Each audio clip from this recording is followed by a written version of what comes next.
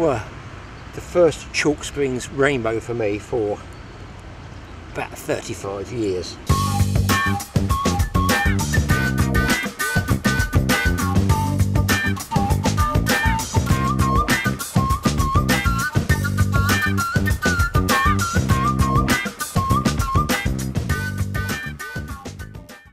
Welcome to the Totally Awesome Fishing Show. Now, I do enjoy, yes, my fly fishing for trout.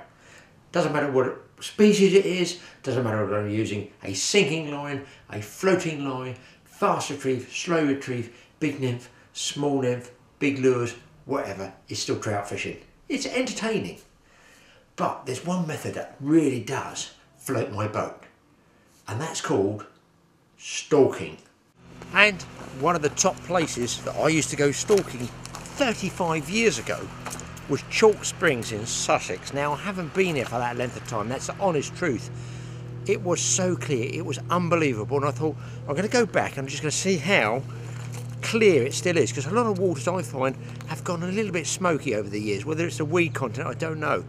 Chalk Springs was the place, and fishery manager down here, John, is going to give us a little bit of an insight about it. Me, I'm getting geared up to go fishing. I hear it's really tap water clear. Well, we've got four lakes um, east, north, south, and west. Um, I suppose we've got about four, four and a half acres of water. Um, lakes are quite deep. I suppose your average depth is anywhere between 10 and 15 foot, I suppose. Um, they go down to about 25 feet in the in the deepest of, of the parts. Um, so yeah, I mean, stocking wise, your average fish is probably two and a half to three and a half pounds. Good scattering of fish, sort of four, five, six, sevens, and then we do fish up to sort of low doubles at the moment. Now, what sort of stock have you actually got in here? Because you're self-sufficient with your stock ponds here. Yeah. What sort of stock are you holding here? Numbers? At the moment, probably, I mean, on the farm at the moment, we've we've probably got about ten thousand fish on the farm. I mean, it sounds a lot for a small fish farm. A lot, a lot of those are fingerlings, um, so they're not taking up as much room. And obviously, we're going through a lot of fish as well. Being the summer, we're, we're pretty busy, so we're going through a lot of fish at the same time. So we do have a constant turnover of fish on the farm. Yeah. What about stock? What have you? What's the species you've got holding here? Uh, we do rainbows, browns, and blues here. Um, I suppose the majority of our fish are rainbows. Uh, we have good numbers of browns and, and a few blues mixed in there as well. Just gives people a bit of a variety. So you're set basically in a valley here, isn't it? The actual. That's right. Yeah, it's all, it, we're, we're all situated on the uh, the Norfolk Estate, the Duke of Norfolk Estate in Arundel, um, and we're quite fortunate because we're in a we're in a bit of a mini sort of valley here. You know, we stay fairly sheltered from the winds unless you get a real strong one blow up. Um, and yeah, it's, it's nice actually because it's not too noisy. You know, you tend to forget about the main road once you've been here for a little while. Um, it's a nice spot, yeah. Uh, on fishing, what, what sort of times do you start and finish? Well, we open at eight in the morning. Uh, fishing starts at half past, and then at the moment we're open till half eight um, of an evening. But that's going to obviously get get earlier as the year goes on, um, as the days draw in. But Is it's it- dusk near enough. yeah. Is it is it sort of renowned as a, a year-round uh, fishery? Come in the winter here. Absolutely, yeah. Because we have, uh, because all the water's spring fed, it stays at a fairly constant temperature um, throughout the year. So in the winter, it's fairly warm, stops the lakes freezing over, um, so you get good sport. So the fish don't completely shut up, you know. Um, and in the summer, it stays fairly cool. So it's good sport all year round. Yeah. I mean, obviously, being the summer, you know, you have the odd day where it's a bit harder. It's been very humid, very hot and bright recently, but you know, that's fishing. Um, I see you've got um, a sort of aeration system there. Then I've seen the paddle ones on the surface, and I've seen the sort of fountain ones. But your one looks a little bit different. What are those? Well, we just have um, we have air stones that run off a main airline. So the main airline feeds all the ponds uh, on the fish farm, and we have several air stones in each pond just to keep the um, just keep aeration up to a good standard, up to a good level in the ponds. Really, um, give the fish as much help as they can possibly get. Now, when I fished here, and it was a very long time ago, it had to be at least 35 years ago. It was, it was. People can make anglers. This is we're talking about fishermen can make a mistake here of not realising how deep those fish are swimming because it is so clear. Would that be correct? That anglers have yeah. got to use if they want to get down to the fish, you've got to be aware they're swimming a lot deeper than they actually look. Yeah, definitely. Um, like I say, the lakes are deep and they're deceivingly deep. It's one of those optical illusion things with the clear water. But you know, most of the guys that come down here that haven't been here before, the sort of depths that they're fishing at for those fish, you know, you want to be doubling that at least. Because a lot of the time, they're casting out and retrieving their flies almost instantly as soon as those flies have hit the water. And in effect, all you're doing then is pulling your fly away from the fish. Um, you know, you need to get down to the fish. You need to cast out, let you, let your fly sink. So you need a long enough leader. Um, even if even if it's you know a rod length, a rod length's fine. If as long as you've got nine, ten foot um, of leader to get down to the fish and get that get that fly down to their level, then um, because it's rare, you know, especially this time of year, it's rare that they'll come up in the water to take uh, a weighted fly. You know, it needs to get down. You need to get underneath them and draw it through them. And do you get hatches of fly here? We've got lots. Yeah, I mean, Good mayfly, I imagine, do you? We do, yeah. I mean, they were a bit, um, they're a bit early, in fact, this year. Um, but yeah, we get good mayfly. We get lots of alders, um, blue damsels everywhere in the summer, um, which is why the damsel nymphs tend to tend to score quite well, uh, especially in the morning when the nymphs are rising up through the water before hatching off. Um, but yeah, really good fly life. Yeah. What sort of fly line would you use here or recommend to people? Well, for someone that's not come down before, um, a floating line's absolutely fine. You find some guys prefer a, a, a sinking tip or an intermediate just to get the fly um, that a little bit deeper, um, especially if it's bright. But to be honest with you, as long as you've got a long enough leader, a floating line's absolutely fine. Uh, now, the benefit of this sort of fishery is, is what's called put and take fishery. So you put the fish in, the guys can come and take them, obviously to a limit, uh, and obviously different price ranges you do for people. But do you do anything like a membership? Yeah, we do. Um, so obviously, like you say, any, anyone can come in and buy a day ticket. Um, we've got a number of different options. So we have a two, a three, a four, or a five fish limit on our day tickets. Um, but for the guys that are going to be here regularly, um, you know, that come sort of once a week, twice a week maybe, for a morning or for an evening, uh, we do a, a block ticket membership. So um, you join as a member for £150. Um, that's a one annual payment and then you buy blocks of 10 fish for £75 on top of that. So if you were going to join today, you'd give me 225 quid. Ouch, ouch! Yeah. well, if you use it regularly enough, then it's uh, it's financially beneficial Yeah. because what it's what it guarantees you is that when you've bought those 10 fish, you are going to catch those at some point. Whereas if you're coming regularly, sort of, you know, let's let's say if you're coming every week and you're buying a three fish ticket for half a day, Yeah. for half a day's fishing. Um, if you have a bum day or you come on a really busy day and you struggle a couple of those times, then you know your wallet's going to know about Yeah, it. exactly. Whereas if you've got ten fish in the bank um, as one of our members, then if you can come down for an hour here or there if you want, if you want to, and just catch one fish and go, you Yes, are going to catch yes. those fish at some point. Less, less Uh, pressures, less pressure. Absolutely, yeah. There's not there, there's very little pressure, yeah. So you can use up those fish as and when, um, and if you like I say, if you use it regularly, um, then that's financially where where you're better off, yeah. Bit of an advantage for the anglers there, Absolutely, yeah. yeah. Facilities wise, um, we've got a car park, plenty of room. Um, we've got a small shop here. Sort of, we sell the basics that you might need to fish here or somewhere like here. Um, we don't, you know, don't stock loads of loads of tackle, but we've got rods, reels, nets, lines, uh, plenty of flies, leader, all your basic sort of bits and pieces. Um, and then we've got the lodge down on the lakes there, which has got self-serve tea and coffee. Um, so everyone's free to help themselves with that. Um, obviously, somewhere to shelter if it starts chucking down with rain as well. Um, but yeah, we've got all basics covered really. Some fabulous fishing there, good information. I can't wait to get down there. Well, I'm not going to wait. Let's get cracking.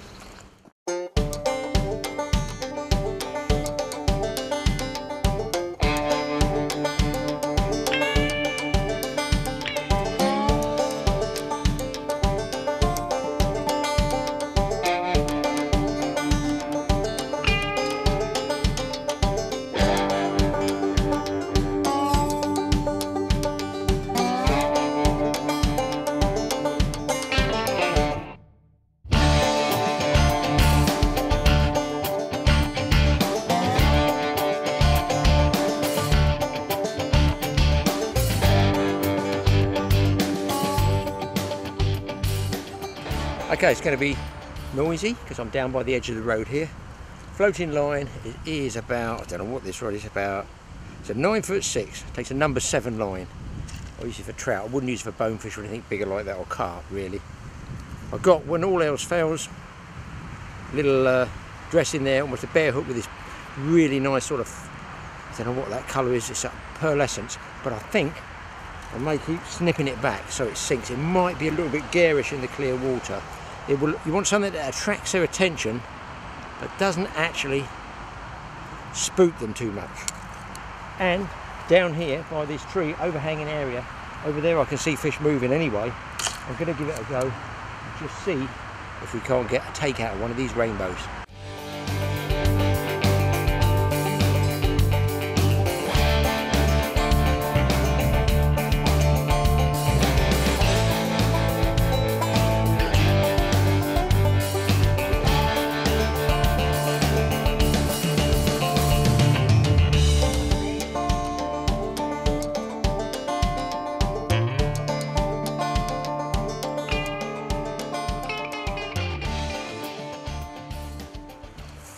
Guys, I just came down the, by the road here. It's like a motorbike going through this room. Came down by the road here. Don't think anybody's been down this way yet. I'm just on the edge of the weed, but I've had several casts of fish that did not look at it at all. They barely want it moving. I haven't got this one yet, obviously. He is, I'll let me show you, burying himself in the weed as we speak. He is down somewhere in amongst that lot there. Not the most spectacular fight, but I've got to try and get him out of that weed before he gets himself out. See if I can get him out for you. Come on. I'm going to go for netters. Net. I'm going to net the weed as well. Why? There we go. A fish and weed. Take a look at it. Well, the first Chalk Springs rainbow for me for about 35 years, possibly, possibly longer. A nice rainbow. You can see there the fly that when all else fails, just in the corner there. But I've had a lot of fish turn off it. You know, I just, I wonder I might have to cut that dressing back a bit. And if I cut the dressing back, it's also going to allow the um, fly to sink out a little bit faster. It's so clear here. And the other thing I do is this. I use for keeping my trout, best place is a cooler. Make no mistake, if you're keeping trout in hot weather, put it in a cooler with those blue freezer blocks. But rather than carry the trout all the way round, sometimes they can in the water cook, so don't leave them there long. But this one, because I've only just got here, I'm going to use a stringer like this. It just opens out, okay? Goes through the jaw of the fish, locks up like a little link. I could put my, what, one, two, three, four, five fish on there, and then I've got a spike at the end which I put in the ground. So I can just lay this in the water while I just walk to the other lake, and then pick it up on the way back.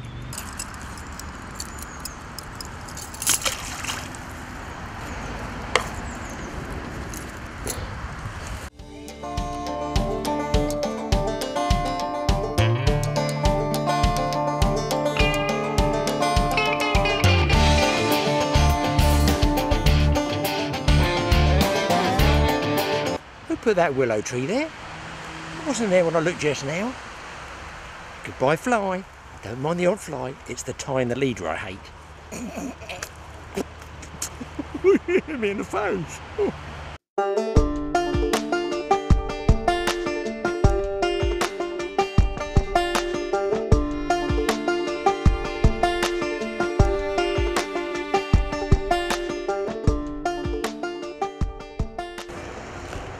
got one, but my goodness me, it took some hooking up. He's over there. You're going to see him in there. Clear water there.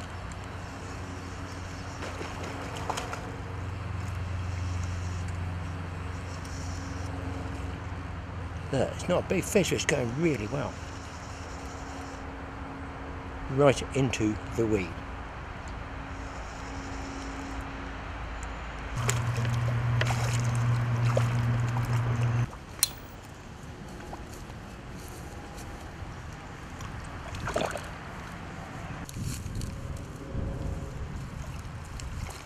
Now once you've netted your trout, you want to dispatch it. For that I've got this. I made it when I was about 14, 15 year olds metalwork. That's my total engineering skills. That and tying a knot. You're going to hit the fish over the head hard, right between the eyes, once or twice. Those of a squeamish nature look away now. Job done. There you go. A nice rainbow. Hook even fell out. I think I killed the fly as well. No, look where he's taken it. Right down in there deep. So, a couple of great fish there. Pleased with that. Stalking works. But my goodness me, it's pretty tough.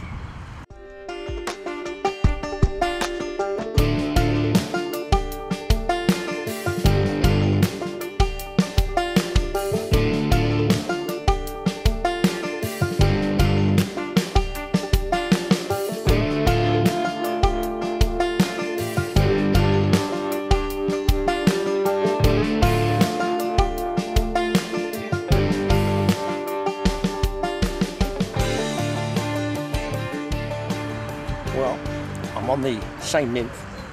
They want it so slow, it's unbelievable. They're not chasing, they want it sort of not sinking but not static. Difficult to say, really. I suppose it's barely moving it upwards, I think, like a natural nymph would be coming up through the water. But I've not actually seen the other fish in here. I've not seen their mouths snapping where they're taking other nymphs. But listen, I don't want to complain, do I? There's the third rainbow on be a tad bigger, just over two, I guess. And a very fine scrapper.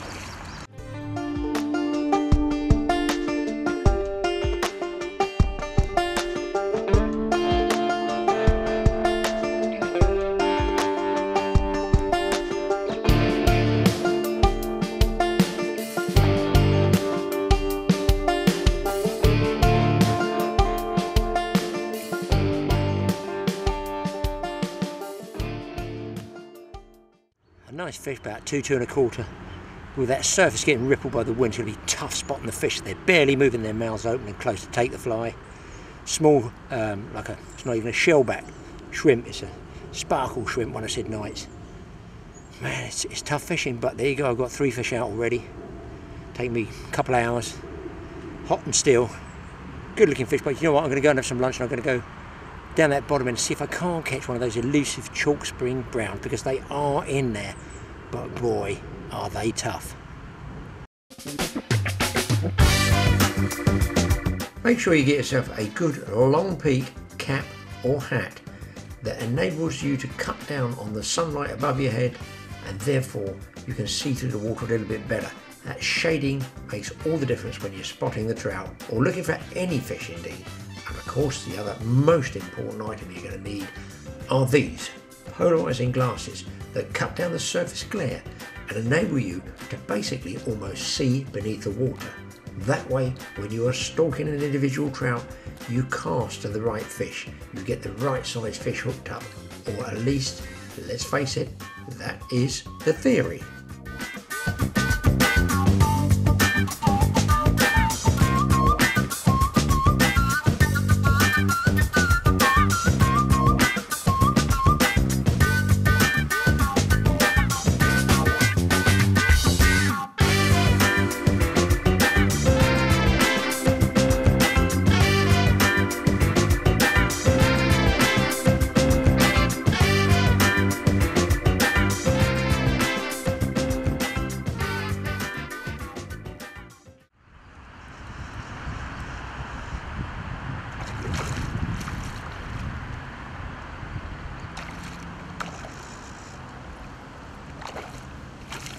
Well, I changed over guys to sort of uh, black, small black nymph really, one of Sid's uh, weighted ones, like a black ant it is, with a black head on it. Straight away, first cast, for some reason, he seemed to like it.